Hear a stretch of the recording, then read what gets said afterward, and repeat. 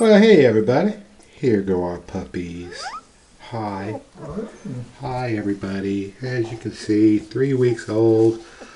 Eyes are wide open. They're taking those full-fledged baby steps now. Still a little bit of a wobble, but not much. Almost big enough to crawl up into the crate. But right now, not quite there yet. Yeah. I, uh, I don't have them sorted in any particular order to tell you whether they're boys and girls, but and they all look so big and fat and healthy and who's responsible for all of this, Gibbattee? Huh? Who's responsible?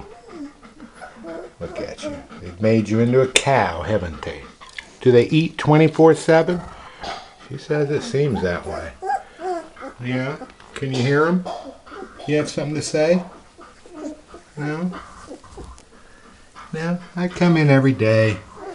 Give them little back rubs. Yeah. Talk to them. Let them know they're good little puppies. Yeah. Here's my good puppy. How about you? You're my good puppy? Yeah. Everybody? Everybody's doing good? I don't know if you can hear Gibbattee, but she's still doing a good job of keeping all the other dogs away from them. Yeah. Tell me, Airedales respect boundaries, don't they, Gibbattee? You just got to establish them. So, uh, yeah, it'd be a miracle if these three were the boys and those three were the girls, because they clearly have separated themselves out, but I just don't know if that's the case or not. I don't know. Well, he's like, I don't, who are you? Who are you? Why are you scratching me? Yeah, good puppy. Look at you. Look at you, pup pup. You're a pretty dog. Yeah, you are. Yeah, you're a pretty dog. How about you? Yeah. As you can see, not much to differentiate them right now. To me, they're all looking just about the same. Even size-wise, uh, you know, I don't really see any particular difference in size. Uh, if I had to guess, I'd say this little fat guy right here. He might be a big boy, yeah.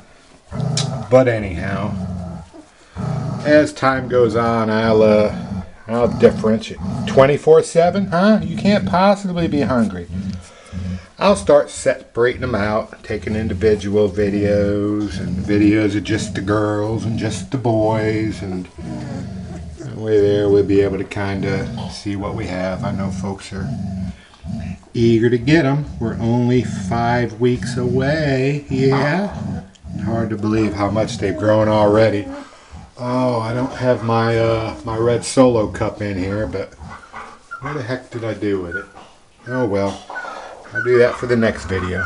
But I hope you can see that they're getting getting a good bit bigger. I'm guessing this got to be at least four or five times bigger, ten times bigger, for all I know from when they were born. Yeah. But they're not motoring too much. They're still pretty much... Oh yeah, you're going to take a step in there? Yeah. First one in? Yeah. No. That's a little too high for you, puppy? Yeah. You want to come over and say hello? Hello? Hello, my little puppy. Oh, yeah, big yawn. All right, well, I'm not going to make this too long. It won't be long now. And look at you. Look at you.